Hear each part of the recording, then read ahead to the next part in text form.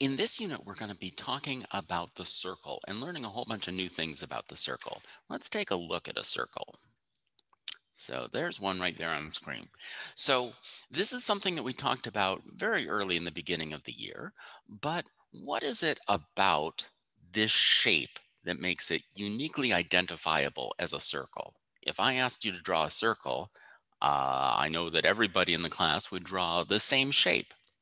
Well, why is it that we're all drawing this shape? What is it that's special about this shape that makes this a circle? Sometimes when I ask students that, they say, well, a circle is something that doesn't have any straight edges in it because, um, you know, we learned circles along with squares and triangles and rectangles and other shapes like that back in nursery school. But then there are other shapes like this, and these don't have any straight edges either. But I think we recognize that that's um, that's more of an egg shape than a circle, and this is a really weird squiggle shape. So neither of these are circles. What is it that makes this a very unique shape that has special features that would make us want to focus in on it? Well, the answer to that question is, what we can tell is we've got this point here in the center of the circle, and if I measure that distance there to that point on the edge, that's about three centimeters. And if I go over to this side, what am I going to find when I measure it to here? It's that same almost three centimeters. No matter where I am in the circle, it's going to be the same distance. All right. Remember, we learned that when we were doing when we were drawing circles with this compass tool. And so the distance between this pointy end and the pencil never changed. And so as long as the pointy end stayed on this center, everywhere the pencil drew was the same distance from the center. Okay, so that's what makes a circle a circle. A circle is a shape where every point on the boundary is the same distance from the center. All right. At the same time, let's talk about a few extra vocabulary words while we're here. There are some special lines we could talk about.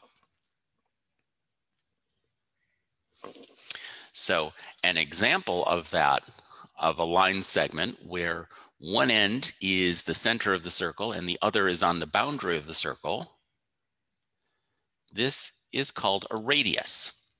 Sometimes when we're talking about radius, we're talking about this line segment, and we can also use radius to talk about the length of this line segment. So the radius is either a line segment or a number. You can figure it out by context. And what's the word we use for this line segment, which goes from one end of the circle to the other and passes through the center?